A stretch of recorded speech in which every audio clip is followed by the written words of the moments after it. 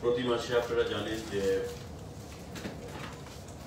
রাজ্য সরকারের বিভিন্ন যে দপ্তরগুলো রয়েছে, সেই দপ্তরে খতিয়ান পেশ করার জন্য এবং কি কি কর্মসূচি সে দপ্তর দ্বারা হচ্ছে তা রাজ্যবাসীকে অবগত করার জন্য? আমাদের মাননীয় মুখ্যমন্ত্রী প্রতি দপ্তরকে এবং দপ্তরের মন্ত্রীদেরকে নির্দেশ দিয়েছেন যাতে করে প্রতি সপ্তাহে দপ্তর সাংবাদিক বৈঠক করা হয়। তার আগে আমরাও বিভিন্ন দপ্তর ভিত্তিক সাংবাদিক বৈঠক করেছি এবং আজকে আমাদের ইউথ অ্যাফেয়ার্স স্পোর্টস যে দপ্তর, তার বিশেষ কিছু কাজ, কি কি কর্মসূচি চলছে এবং আগামী দিনে আমাদের কি চিন্তাধারা রয়েছে কর্মসূচি বাস্তবায়িত করার ক্ষেত্রে, সে বিষয়ে আপনাদেরকে অবগত করতে চাইব রাজ্যের জনগণকে। তার আগেও আমরা ক্রীড়া দপ্তর নিয়ে সাংবাদিক বৈঠক করেছি। এবং সেখান থেকে আমাদের কাজ কতটুকু এগিয়েছে সে বিষয়ে আমরা আপনাদেরকে জানান দেব। আপনারা জানেন যে ক্রীড়া দপ্তর এটা একটা এমন দপ্তর যেখানে রাজ্যের যুবক যুবতীরা বিভিন্ন খেলাধুলার মাধ্যমে নিজেকে প্রতিষ্ঠিত করতে চায় আমাদের দেশে বিভিন্ন রাজ্যে যেমন রাজস্থান মহারাষ্ট্র উত্তরপ্রদেশ মণিপুর অন্ধ্রপ্রদেশ উড়িষ্যা এই সমস্ত রাজ্যগুলোতে যারা ক্রীড়ার সঙ্গে যুক্ত রয়েছেন সরকারি চাকরিতে ওই তাদের রাজ্যে একটা বিশেষ রিজার্ভেশন বা কোটা ক্রীড়াবিদদের জন্য ফিক্স করে রাখা হয়েছে। রাজস্থান গভর্নমেন্টের যে সার্কুলার আমরা এনেছি বা উত্তরপ্রদেশ গভর্নমেন্টের যে সার্কুলার আমরা এনেছি, মণিপুর গভর্নমেন্টের সার্কুলার আমরা এনেছি। এবং যে রাজ্যগুলোর কথা আমি বললাম এখানে, প্রতিটা রাজ্য থেকে তাদের গভর্নমেন্টের সার্কুলার আমরা এনেছি, আমরা দেখলাম যে কোথাও টু পার্সেন্ট কোথাও ফোর পার্সেন্ট কোথাও group A B C D আবার কোথাও গ্রুপ সি গ্রুপ বি সেই ক্ষেত্রে তাদের জন্য রিজার্ভেশন রয়েছে সরকারি চাকরির ক্ষেত্রে। আমাদের রাজ্যেও আমরা একটা প্রপোজাল ইনিশিয়েট করেছি যাতে সরকারি চাকরির ক্ষেত্রে আমাদের যারা প্লেয়াররা রয়েছে, বিভিন্ন সময় ন্যাশনাল মিট করেছেন বা করেন, করার মানসিকতা রাখেন, শারীরিক ক্ষমতা রয়েছে, মানসিক ক্ষমতা রয়েছে, ওই সমস্ত ব্যক্তিদেরকে সরকারি চাকরির ক্ষেত্রে যেন রিজার্ভেশন প্রদান করা হয়। আমাদের এটা ফাইল প্রসেস হয়েছে। বিভিন্ন দপ্তর ভিত্তিক আপনারা জানেন, একটা সিদ্ধান্ত নিতে গেলে অনেক দপ্তরের সেখানে ইনভলভমেন্ট দরকার। দপ্তর ভিত্তিক কাজ চলছে, আমরা বিশ্বাস করি এবং মাননীয় মুখ্যমন্ত্রীও তাতে সহমত পোষণ করেছেন যে এটা করা দরকার। তবে খেলার প্রতি মানুষের যে উৎসাহ, স্পৃহা, সেটা বৃদ্ধি পাবে। এবং আমি যেদিন ক্রীড়া দপ্তর মন্ত্রী হিসেবে দায়িত্ব গ্রহণ করেছি, সেদিন থেকে আমাদের একটা ইচ্ছে ছিল মাননীয় মুখ্যমন্ত্রীর পরামর্শ অনুযায়ী যে এ রাজ্যের প্লেয়ারদেরকে বাইরের রাজ্যের সঙ্গে যাতে অ্যাড পার আমরা করতে পারি, তার জন্য তাদের মানসিক দিক থেকে, শারীরিক দিক থেকে তাদেরকে সঠিকভাবে আমাদের পরিচালনা করতে হবে। এবং সরকারি চাকরির ক্ষেত্রে যদি আমরা সেই রিজার্ভেশনটা করতে পারি, সরকার সিদ্ধান্ত করবে যে পার্সেন্টেজটা কত হবে, কোনো কোনো রাজ্যে ফোর পার্সেন্ট রয়েছে, কোথাও সিক্স পার্সেন্ট রয়েছে, কোথাও থ্রি পার্সেন্ট রয়েছে আমাদের রাজ্যের ক্যাপাসিটি অনুযায়ী পার্সেন্টেজটা কি হবে সেটা সরকার ঠিক করবে, কিন্তু আমরা বিশ্বাস করি যে আমাদের যে প্রসেস আমরা ইনিশিয়েট করেছি, সেটা রাজ্য সরকার অনুমোদন দেবে এবং আগামী দিনে আমাদের রাজ্যেও ক্রীড়াবিদদের জন্য সরকারি চাকরিতে বাইরের রাজ্যের মতো করে একটা রিজার্ভেশন আমরা করতে পারব। ফাইল সেখানে প্রসেস করা হয়েছে, এটা কিছুদিনের মধ্যে হয়তো আমরা একটা সিদ্ধান্ত জানতে পারব। এটা আমাদের একটা যুগান্তকারী একটা ঐতিহাসিক সিদ্ধান্ত হবে বলে আমরা মনে করি ক্রীড়া দপ্তরের তৎসঙ্গে আমাদের তার আগেও একটা সাংবাদিক বৈঠক আমরা করেছিলাম রাজ্য সরকারের ক্রীড়া পরিকাঠামো। কেন্দ্রীয় সরকার থেকে অর্থ দেওয়া হয়েছে। আবার কিছু অর্থ আমাদের রাজ্য সরকার অর্থাৎ স্টেট ফিনান্স ডিপার্টমেন্ট থেকেও প্রদান করা হয়েছে। পরিকাঠামোগত উন্নয়ন করার জন্য।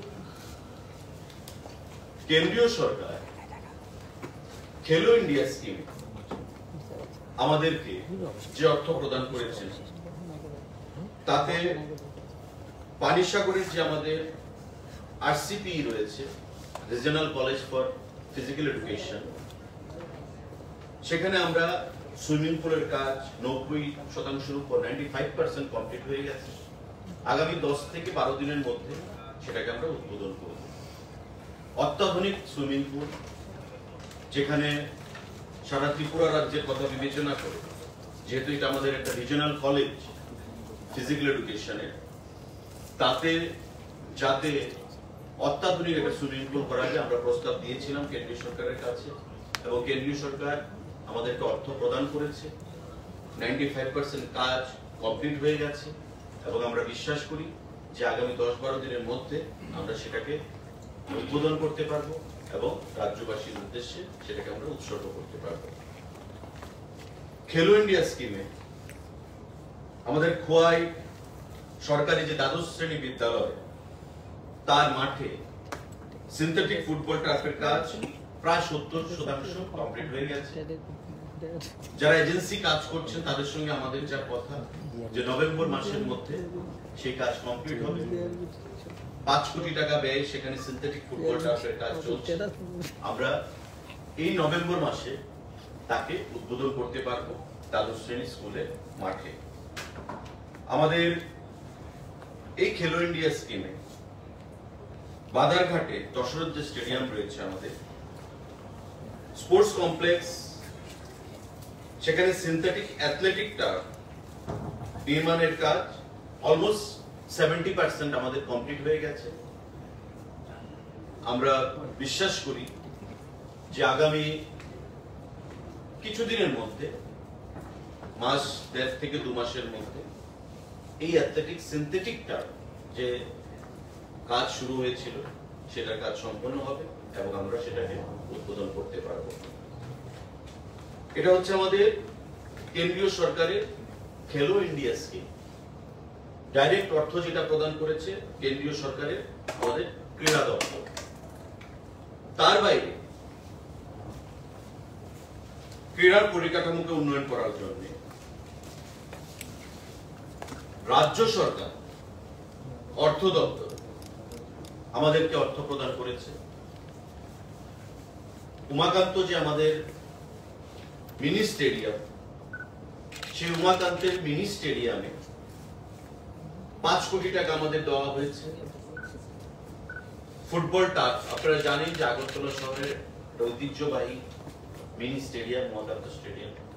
এবং সেখানে রাখাল সিং আমাদের ক্লাব লিগগুলো, ফুটবলে বিশেষ করে খেলা হয়ে থাকে। বিগত দিনে বা বিগত সরকার এই মাঠটাকে পরিচর্যা বা এই মাঠটাকে উন্নত করার জন্য কোনো ধরনের পদক্ষেপ তারা গ্রহণ করে আমাদের সরকার গঠিত হওয়ার পর আমরা সেটা চিন্তা ভাবনা করেছি এবং রাজ্য সরকার থেকে আমরা অর্থ নিয়ে গ্রহণ করেছি তাদের আমাকে অর্থ প্রদান করেছে, আমি ধন্যবাদ জানাব মাননীয় মুখ্যমন্ত্রী এবং অর্থমন্ত্রীকে, যে সাহায্যের হাত আমাদের বাড়িয়ে দিয়েছে। এবং এটাকে বিশ্বমানে অ্যাস্ট্রোটার আমাদের তৈরি হয়ে গেছে। আগামী চার তারিখ মাননীয় মুখ্যমন্ত্রী এবং উপমুখ্যমন্ত্রীর হাত ধরে আমরা তার শুভ সূচনা করব, তার উদ্বোধন করব, এবং সেদিন ত্রিপুরা ফুটবল অ্যাসোসিয়েশন থেকে একটা ফুটবল ম্যাচেরও সেখানে আয়োজন করা হবে।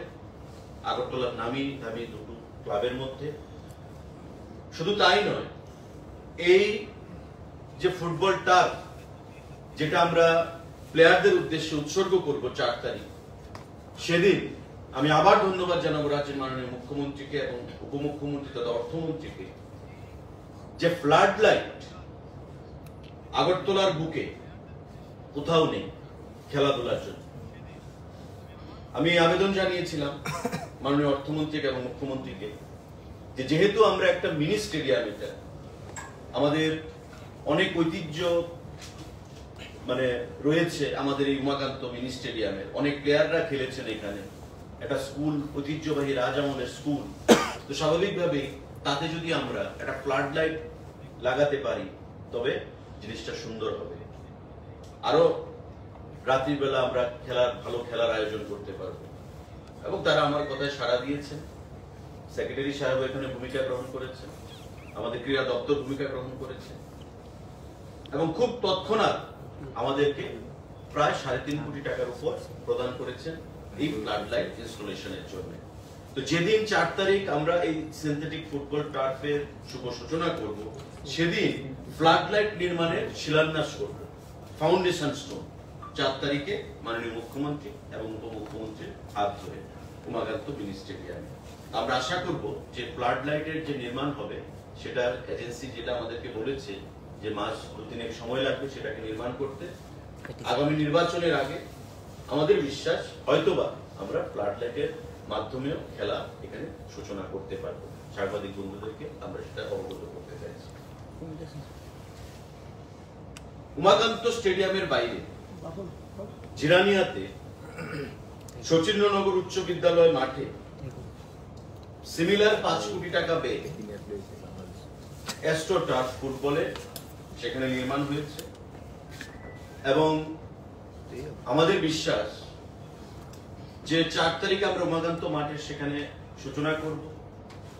দশ থেকে বারো তারিখের মধ্যে জিরানিয়া স্থিত যে শচীন্দ্রনগর উচ্চ বিদ্যালয় সেখানকার যে অ্যাস্ট্রোটার তার আমরা উদ্বোধন করব। সেটাও বিশ্বমানের তৈরি করা হয়েছে পাঁচ কোটি টাকা ব্যয় আমাদের জিরানিয়াতে শচীন্দ্রনগর উচ্চ বিদ্যালয়। একই মাঠ সিনথেটিক ফুটবলটা বিশ্বমানের বেলোনিয়া স্থিত বিকেআই ফুটবল মাঠে। টার্ফ নির্মাণের কাজ সেটাও শেষের পথে এবং নভেম্বরের মধ্যেই সেটাকে আমরা শুভ সূচনা করব। একই মাঠ বিশ্বমানের অ্যাস্ট্রোটার্ফ ফুটবলের সিনথেটিক মোহনপুর বিধানসভা কেন্দ্রে তুলাবাগান স্থিত উত্তর দেবেন্দ্রনগর উচ্চতর বিদ্যালয় মাঠে সেখানে কাজ চলছে এবং আগামী নভেম্বরের মধ্যে তার শুভ সূচনা আমরা করতে পারব। সেটা যারা এজেন্সি কাজ করছে, তারা আমাদেরকে কথা দিয়েছে অর্থাৎ রাজ্য সরকারের অর্থ দিয়ে পাঁচ কোটি টাকা করে একটা স্টোটার ইন্টু ফোর একটা উমাকান্ত, একটা জিরানিয়াতে একটা মোহনপুরে এবং একটা বেলুনিয়াতে। চারটা কুড়ি কোটি টাকার অ্যাস্ট্রোট্রাফ যা রাজ্য সরকার অর্থ দপ্তর প্রদান করেছে সেটা আমরা শুভ সূচনা করছি আগামী নভেম্বর মাসের মধ্যে। চার চারটি অ্যাস্ট্রোট্রাফে এবং তৎসঙ্গে আগামী চার তারিখ উমাকান্ত মিনি স্টেডিয়ামে ফ্লাড লাইটের শিলান্যাস যা খেলা শুরু হবে আগামী দু চার মাস পর থেকে। যে ফ্লাড লাইটের শিলান্যাস আমরা করব মাননীয় মুখ্যমন্ত্রী। এবং উপমুখ্যমন্ত্রীর ধরে। গেছেন আপনি?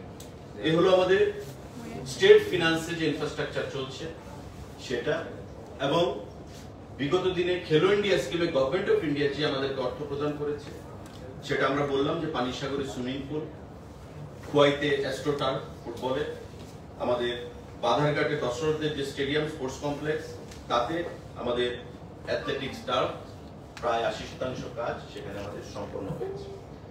সাংবাদিক বন্ধুরা, তার বাইরে আমাদের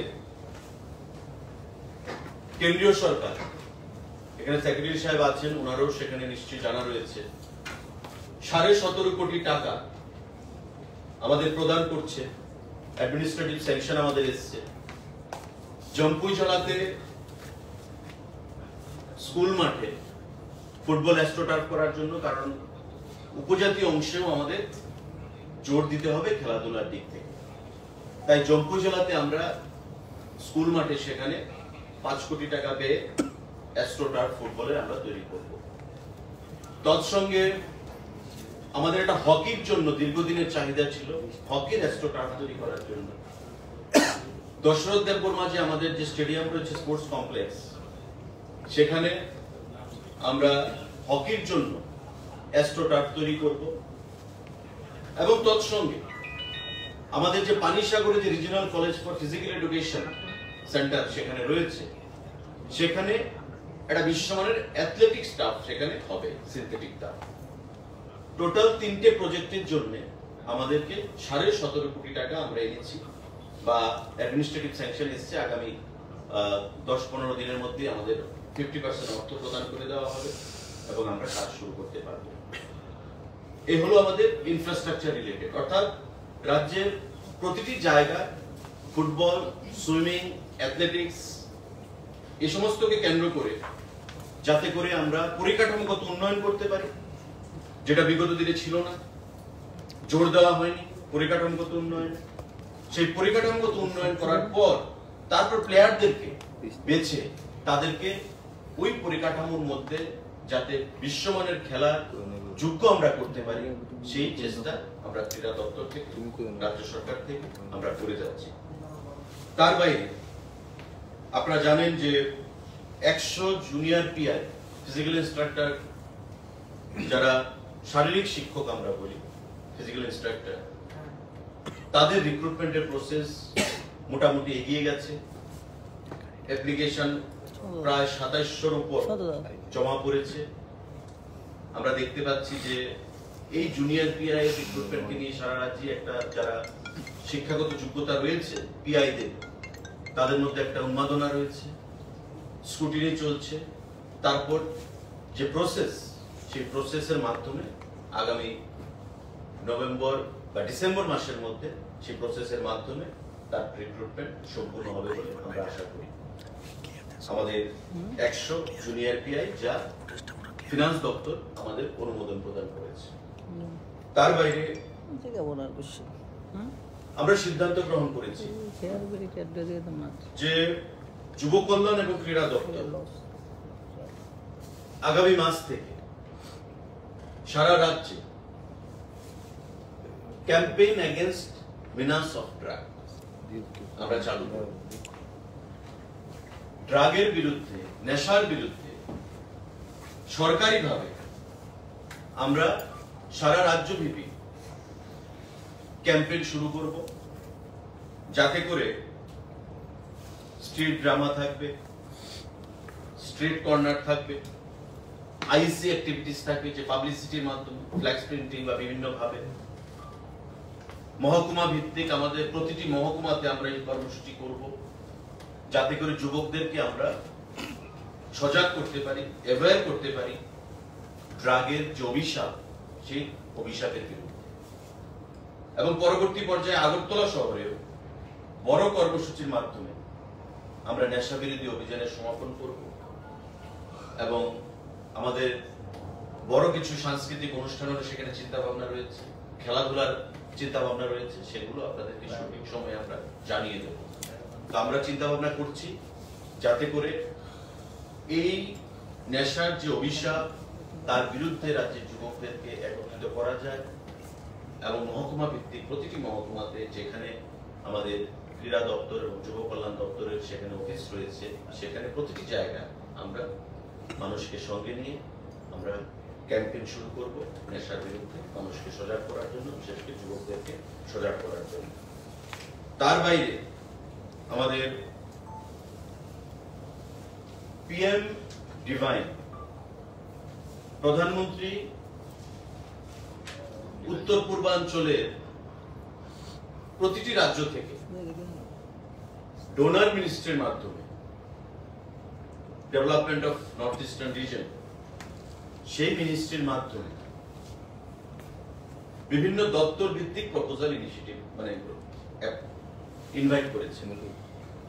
যে প্রতি দপ্তর ভিত্তিক কি কি উন্নয়নমূলক কর্মসূচি করা যায় যাতে করে ইকোনমিক্যাল সেক্টরেও যুবকদেরকে বা জনগণকে আমরা মোটিভেট করতে পারি? আমরা ক্রীড়া দপ্তর থেকে প্রায় দুশো কোটি টাকার প্রজেক্ট পাঠিয়েছি। এবং সেই প্রজেক্টকে এখানে সেক্রেটারি সাহেব আছেন। গত পরশুদিন ডোনার মিনিস্ট্রির সঙ্গে ওনার ভিসি হয়েছে ভিডিও কনফারেন্স সেখানে আমাদের এই প্রপোজালকে অ্যাকসেপ্ট করা হয়েছে। প্রায় দুশো কোটি টাকার প্রস্তাব আমরা পাঠিয়েছি। যেমন দশরথদের যে আমাদের স্পোর্টস কমপ্লেক্স রয়েছে বাজারঘাটে, সেটাকে আপগ্রেডেশনের জন্য। সেখানে আপনি দেখবেন প্র্যাকটিক্যালি বিগত পঁচিশ বছরে কিছুই নেই। শুধু লাল মাটি রয়েছে। খেলাধুলার কোনো পরিবেশ নেই। বাউন্ডারি ওয়াল নেই। শুধু দুটো স্ট্যান্ড দাঁড় করিয়ে রাখা হয়েছে। তবে আমরা প্রশ্ন রাখতে পারি যে পঁচিশ বছর যে সরকার ছিল তারা ক্রীড়া ক্ষেত্রে তাদের ভূমিকা কি ছিল? পরিকাঠামোগত উন্নয়নে তাদের ভূমিকা কি ছিল? প্র্যাকটিক্যালি বিগ জিরো আমরা যেটা দেখতে পাই। তো সেটাকে আপগ্রেডেশনের জন্য, আজকে আমি পরিকাঠামোগত উন্নয়নের ক্ষেত্রে আমি বললাম যে সেখানে হকি স্টোটার করা হচ্ছে, অ্যাথলেটিক স্টোটার করা হচ্ছে, এবং যে দুশো কোটি টাকার প্রস্তাব পাঠানো হয়েছে, তাতে আমাদের এই দর্শকদের যে স্টেডিয়াম আমরা চাইছি, সেটাকে বিশ্বমানের তৈরি করে, যাতে আমরা ন্যাশনাল গেমস এর মতো আসর এখানে আয়োজন করতে পারি। তার জন্য সেই প্রস্তাব রাখা হয়েছে এবং সেটা পাঠানো হয়েছে। পিএম ডিভাইন যে প্রকল্প তাতে সেটাকে অ্যাকসেপ্ট করা হয়েছে। পরবর্তী সময়ে তারা কত টাকা মঞ্জুর করা হবে কোন কোন প্রজেক্টে সেখানে সেনশন দেওয়া হবে ডোনার থেকে সেটা ক্রস ভেরিফিকেশন করে এক্সামিন করে সিদ্ধান্ত গ্রহণ করা হবে। আমরা আশাবাদী যে আগামী দিনে আমরা এই প্রজেক্টটাকে স্যাংশন করাতে পারলে আমাদের যে স্বপ্ন আহ, দশরথ দেব স্টেডিয়ামটাকে একটা বিশ্বমানের তৈরি করা এবং সেখানে যেন ন্যাশনাল গেমস লেভেলের আমরা কর্মসূচি আয়োজন করতে পারি, সেটাকে বাস্তবায়নে আমরা একটা গ্রুপ দিতে পারব। আমাদের মণিপুর যদি সেটা করতে পারে, পার্শ্ববর্তী মণিপুর, আয়তন ত্রিপুরার মতো, জনসংখ্যাও বেশি নয়, আজকে মণিপুর যদি করতে পারে, আমরা কেন পারব বিগত পঁচিশ বছর সেটাকে কোনো ধরনের প্রস্তাব বা কোন ইনিশিয়েটিভ আমরা লক্ষ্য করিনি। তৎসঙ্গে সেক্রেটারি সাহেব যে ভিডিও কনফারেন্স করেছেন ভোলাগিরি যে আমাদের একটা মাঠ রয়েছে আপনারা দেখবেন সেই ভোলাগিরি মাঠটাকে একটা মিনি স্টেডিয়াম করার জন্য কারণ আমাদের বর্তমান যে আস্তাবল গ্রাউন্ড রয়েছে সেখানে টু বি অনেস্ট খেলাধুলা থেকে বেশি অন্য কাজ হয়। আপনি কোভিডের বাজার সেখানে বসে জনসভাগুলো সেখানে হয় গাড়ির ড্রাইভিংও মানুষ সেখানে শেখে। বিভিন্ন কালচারাল কর্মসূচি সেখানে হয়। তো প্র্যাকটিক্যালি এখন আর সেটা খেলাধুলার জন্য নয়, এটা অন্য অ্যাক্টিভিটিসের জন্য বেশি ইউজ করা হয়। তাই ছোট আকারে হলেও ভুলাগিরি মাঠটাতে একটা মিনি স্টেডিয়াম করার জন্য আমরা প্রায় পঁচিশ তিরিশ কোটি টাকার একটা প্রজেক্ট আমরা পাঠিয়েছি ওই পিএম ডিভাই স্কিমে প্রকল্পে। আমরা অপেক্ষা করব, আশাবাদী যে সেটাকে স্যাংশন দেওয়া হবে এবং আমরা সেখানে অনলি ফর স্পোর্টস অ্যাক্টিভিটিস যা উৎসর্গ করা হবে শুধু খেলাধুলার জন্য। এই ভোলাগিরি মাঠটা, তার বাইরে অন্য কিছু নয় আমরা সেখানে কিছু একটা নতুন প্রকল্প করতে চাইব, মিনি স্টেডিয়াম রূপে সেটাকে প্রস্তাব পাঠানো হয়েছে। তার বাইরে ভগৎ সিং যে যুব আবাস রয়েছে, সেই জায়গায় এটাকে পুরো রেনোভেট করার জন্য বা নতুন করে তৈরি করার জন্য, যেটা দিয়ে যুবকদেরকেও আমরা কর্মসংস্থানের দিকে ধাবিত করতে পারব, তার প্রস্তাব সেখানে রাখা হয়েছে। বিভিন্ন জায়গায় আরও ইউথ হোস্টেলের প্রস্তাব পাঠানো হয়েছে। যাতে করে টোটাল ক্রীড়া ক্ষেত্রে আমরা পরিকাঠামোগত উন্নয়ন, পাশাপাশি প্লেয়ারদেরকে মোটিভেশনের মাধ্যমে চাকরির ক্ষেত্রে তাদেরকে ফিউচারকে সুনিশ্চিত করার জন্য এবং ইকোনমিক্যালি ভাইবল এমন কিছু পদক্ষেপ গ্রহণ করা যায়, সেই প্রস্তাবই পিএম ডিভেন প্রকল্পে পাঠানো হয়েছে। আমরা বিশ্বাস করি রাজ্য সরকারের এই প্রস্তাব, কেন্দ্রীয় সরকারের ডোনার মন্ত্রক সেটাকে সম্মতি প্রদান করবে এবং সঠিক সময়ে তারা আমাদেরকে সেই অর্থ প্রদান করবে এবং আমরা পরিকাঠামোগত উন্নয়নের দিকে ঝাঁপিয়ে পড়ব। তো এই যে বিষয়গুলো ক্রীড়া দপ্তর আমরা করছি, তার বাইরে আমাদের বিভিন্ন কর্মসূচি এখানে রয়েছে, যেমন এনএসএস আমাদের যে ন্যাশনাল সার্ভিস স্কিম যা একটা গুরুত্বপূর্ণ ভূমিকা পালন করে প্রতি বছরই ত্রিপুরা রাজ্যে রক্তদানের ক্ষেত্রে বিভিন্ন সামাজিক কর্মকাণ্ডের জন্য এনএসএস আমাদের ভারতবর্ষের মহামান্য রাজ্যপাল রাষ্ট্রপতি মহোদয় শ্রীমতী দ্রৌপদী মুর্মুর হাত ধরে তিনজন এনএসএস স্বেচ্ছাসেবক এবং সেবিকা দু হাজার কুড়ি এবং একুশ শিক্ষাবর্ষের জাতীয় সেবা প্রকল্প পুরস্কার গ্রহণ করে। কবে? চব্বিশে সেপ্টেম্বর দু হাজার বাইশ দিল্লি। চব্বিশে সেপ্টেম্বর দু হাজার বাইশ। কারা কারা? শ্রী সুমন বণিক শ্রীমতী রিয়া রয় চৌধুরী এবং শ্রী তাপস কুমার আচার্য। তারা তিনজন। শ্রী সুমন ভৌমিক হচ্ছেন এনএসএস প্রোগ্রাম অফিসার সুভাষনগর উচ্চতর মাধ্যমিক বিদ্যালয়। শ্রীমতী রিয়া রায় চৌধুরী হচ্ছে এনএসএস স্বেচ্ছাসেবিকা। মাইকেল মধুসূদন দত্ত মহাবিদ্যালয় সাবরুম। এবং শ্রী তাপস কুমার আচার্য, এনএসএস স্বেচ্ছাসেবক, মহারাজা বীর বিক্রম মহাবিদ্যালয়। আগামী দোসরা নভেম্বর দু হাজার বাইশ, ইং সকাল সাড়ে এগারোটায় আগরতলা রবীন্দ্র ভবনেও এনএসএস এর একটা দিবস উদযাপন এবং নেশামুক্ত ত্রিপুরার বিষয়ে সেমিনারেরও সেখানে আয়োজন করা হয়েছে। তো এভাবে এনএসএস বরাবরই বিভিন্ন কর্মসূচি পালন করে থাকে। তাদের যে সেবার মনোবৃত্তি, মানসিকতা, সেটাকে তার কর্মসূচির মাধ্যমে তারা প্রতিফলিত করে যাচ্ছে এবং আমরা আশা করব আগামী দিনে এনএসএস এর কর্মসূচি আরও শ্রীবৃদ্ধি করবে। তার বাইরে আমাদের এখানে স্পোর্টস দপ্তরের যে বিভিন্ন কর্মসূচিগুলো, যুব কার্যক্রম, আমাদের খেলাধুলা প্রতিনিয়ত চলে আসছে এবং স্পোর্টস স্কুল বোর্ড আমাদের যে বাধারঘাটে রয়েছে, তার মাধ্যমে রাজ্যের বিভিন্ন অংশ থেকে যারা ছেলেরা, মেয়েরা, গরিব অংশের বিশেষ করে খেলাধুলায় উৎসাহী, তারাও সেখানে বোর্ডিং স্কুলে থাকছে। রাজ্য সরকারের খরচা এবং খেলাধুলার জন্য নিজেদেরকে সেখানে প্রস্তুত করছে।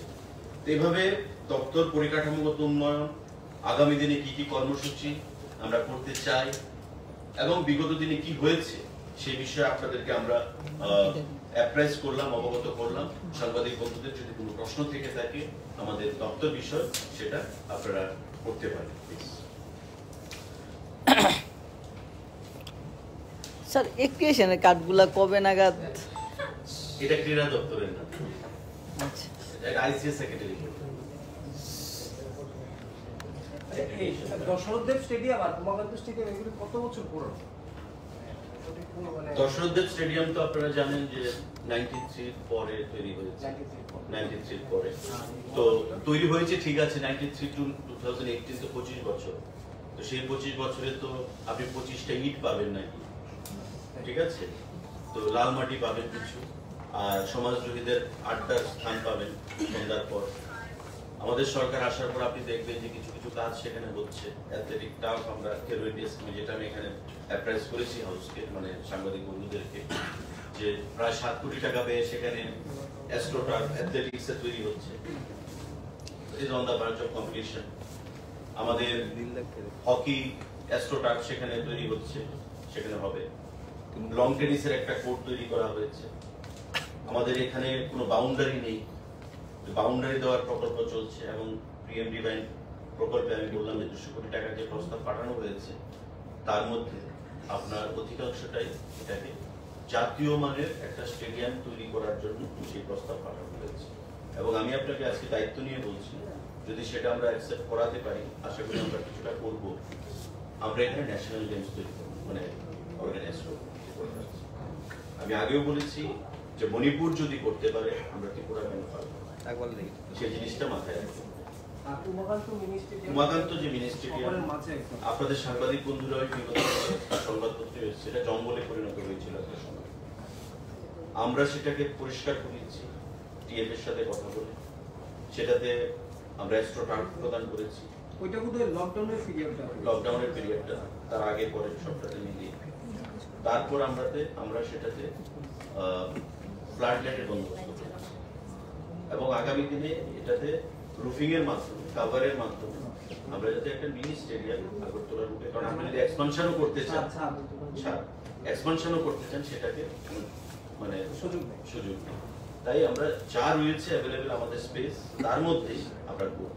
অ্যাপার্ট ফ্রম দ্যাট আমরা ভোলাগিরিতে যে মাঠটা রয়েছে সেটা তো একটা মিনি স্টেডিয়াম আমরা করতে চাইছি ছোট আকারে যেটা আপনি দেখবেন বিগত দিনে অনেক আগে ছোট্ট একটা গ্যালারির মতো রয়েছে আমি যখন ভিজিটে গেলাম অফিসারদেরকে নিয়ে, আমাকে যে কোনো একজন বলবে যে পাঁচ কোটি টাকা স্যাংশন করা হয়েছিল তদানীন্তন সময়ে, কিন্তু বোধহয় পঞ্চাশ লক্ষ টাকারও কাজ হয়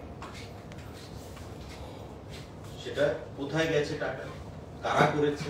কেন করেছে? কবে করেছে? কোনো কাগজপত্রে নেই। জঙ্গলে পরিণত করা হয়েছে। আমি গিয়ে সেটাকে আমাদের কাস্টডিতে রয়েছে বর্তমানে স্পোর্টস ডিপার্টমেন্টের এই রেভিনিউ ডিপার্টমেন্টে আমি প্রপোজাল পাঠিয়েছি এনওসির জন্য।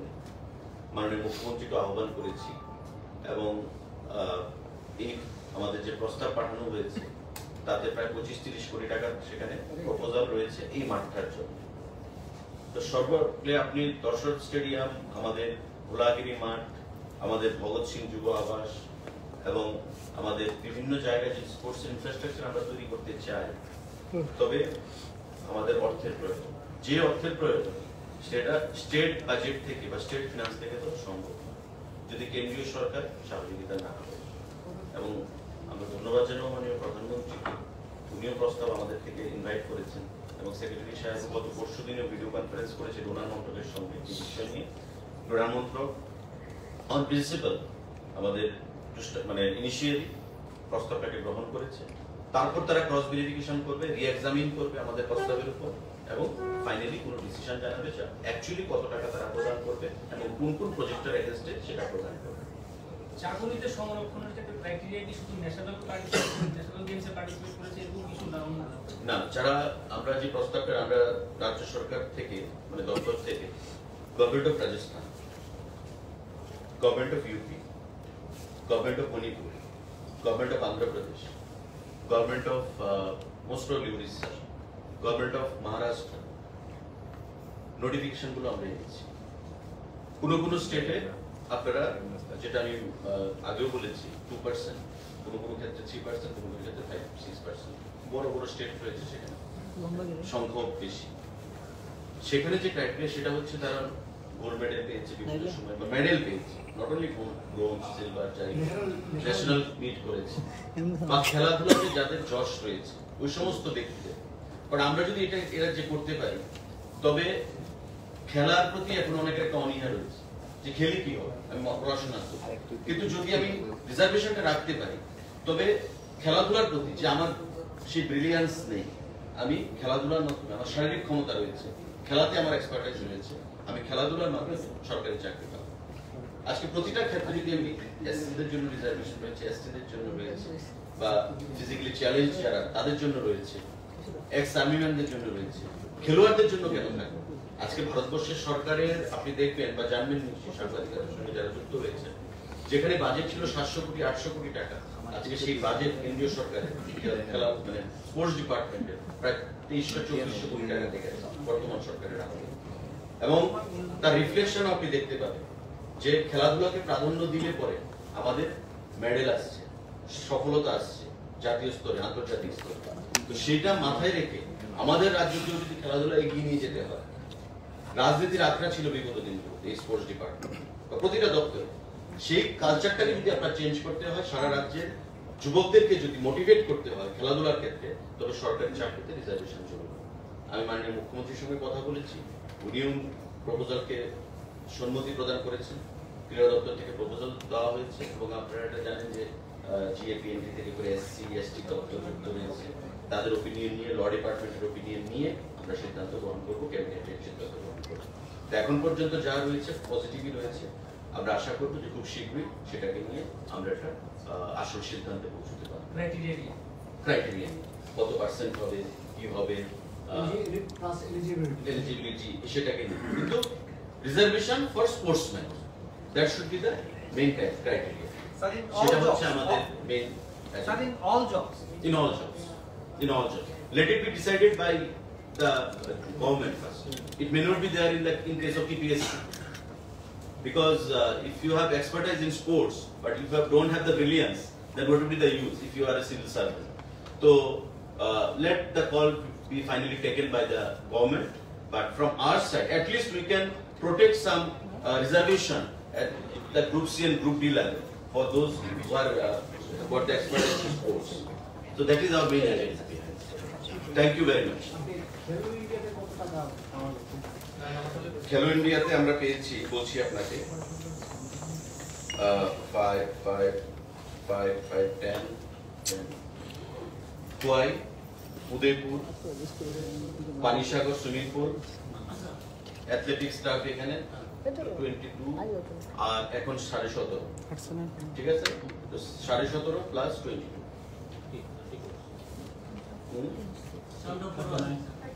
thirty nine plus এই হচ্ছে Khelo India.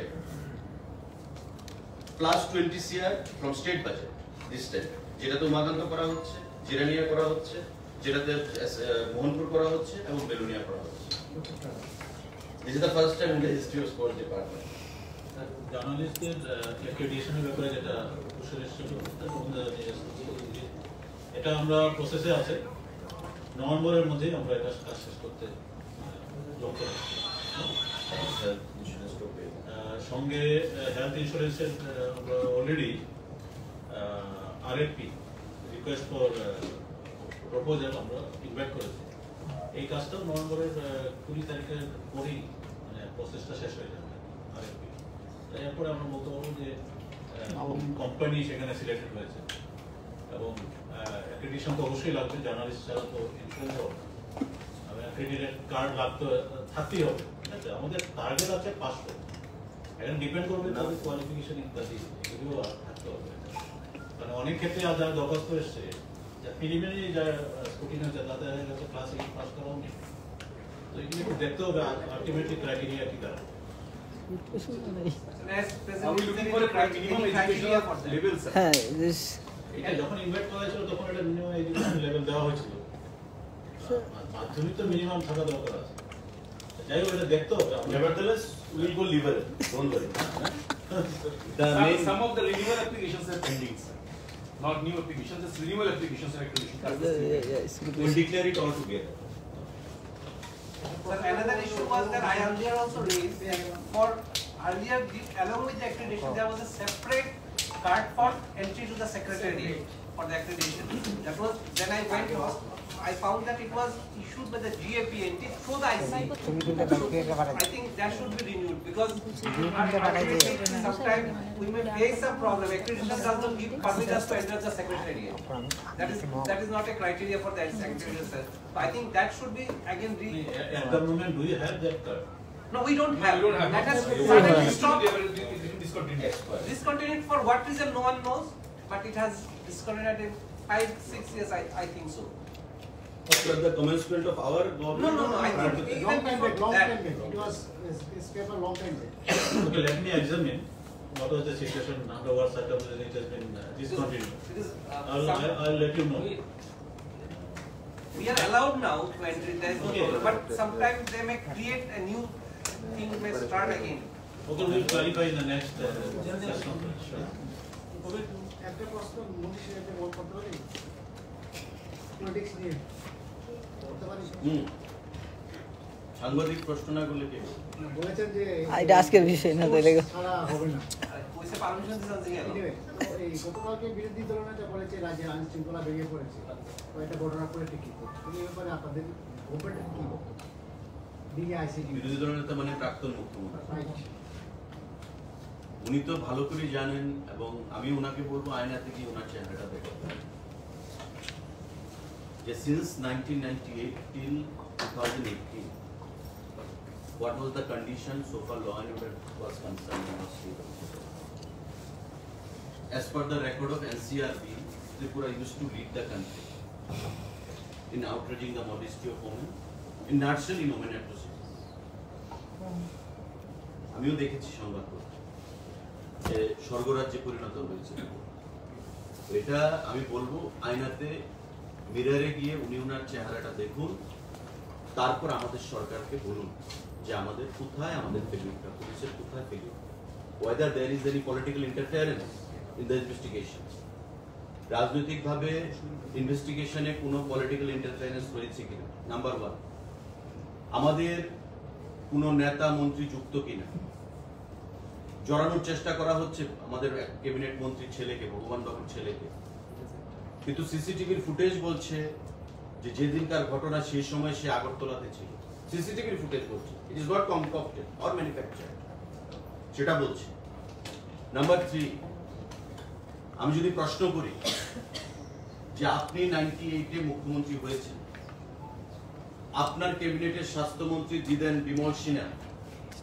He was killed at that point of time. Yusuf Commission was constituted to reveal the fact. After the investigation, why it took more than five, six years, seven years or more, more, more than that to reveal the report? কেন আপনি report প্রকাশ্যে আনেননি হাইকোর্টে মামলা করে কেন তদানীন্তন বিরোধী দলকে সেখানে ইউসিফ কমিশনের রিপোর্ট সেখানে সামনে আনতে হলো কে ছিল মাস্টার মাইন্ড মার্ডারে এটা আজকে সেক্রেটারি সাহেব বসে রয়েছেন। I not go politically it's a government premises আমি এতটুকুই বলব। মধুসূদন দাস সাহা, যিনি প্রাক্তন বিধায়ক ওনাকে কে খুন করেছিল? ধরতে পেরেছিলেন কিনা আসামিদেরকে? দিদেন এসডিএম সদর সুক্রাম দেববর্মাকে অফিসে ঢুকে জিরো রেঞ্জ থেকে গুলি করা হয়েছিল। বুলেট বিদ্ধ হয়েছিলেন। ধরতে পেরেছিলেন কিনা? আমাদের রাজ্যে তো কোনো আমলা মার্ডার হয়নি। এসডিএম কে মার্ডার করা হয়নি আমাদের সরকারের আমলে। আমাদের সরকারের আমলে কোনো মন্ত্রীকে মার্ডার করা হয়নি। আমাদের সরকারের আমলে কোনো বিধায়ককে মার্ডার করা হয়নি। There are a series of incidents যেটা প্রমাণ করবে যে বিগত দিন থেকে ল অ্যান্ড অর্ডারের সিচুয়েশন আমাদের রাজ্যে অনেক ভালো। এবং খুব শীঘ্রই আমি তথ্য নিয়ে বসবো আপনাদের সঙ্গে প্রেস মিটের মাধ্যমে। তারপর সেটা প্রমাণ হবে যে রেপ কত ছিল গ্যাং রেপ কত ছিল রোবারি কত ছিল outreaching the modesty of women কত ছিল ওমেন অ্যাট্রোসিটিস কি ছিল, ডাকাইতি কত ছিল, সমস্ত কিছু আপনাদের তথ্য নিয়ে বলব এবং রেট অফ কনভিকশন সেটা নিয়েও বলব। And what was the previous condition rate of conviction কেন কম ছিল? কারণ পুলিশকে ইনভেস্টিগেশনে ইন্টারফারেন্স করা হতো নেতা মন্ত্রীদের কাছের লোক যারা, তারা যুক্ত ছিল। এনডিপিএস মামলা কতটা কি কি অবস্থায় রয়েছে এগুলো আপনাদেরকে বলবো তা আমি এই নার্সেল আপনাকে বলছি আপনার প্রশ্নের উত্তরে উনি ওনার আয়নার চেহারাটা দেখো উনি উত্তর পেয়ে যাবেন Sir, ধন্যবাদ uh, do do you assure that interference won't be there, I believe? Where? In the, in the police, uh, there won't be any interference political. Time That and is the again, I'm reason the telling you, question- law will take its own course, and BJP does not believe in political interference so far any investigation is concerned.